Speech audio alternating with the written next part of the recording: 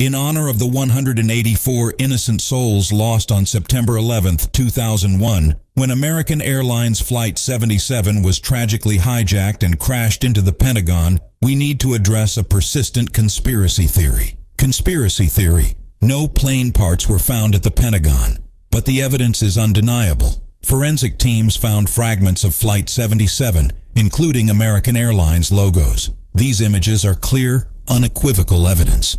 The CA of American Airlines is clear in this piece of the plane's fuselage found on the ground in the images from the Pentagon.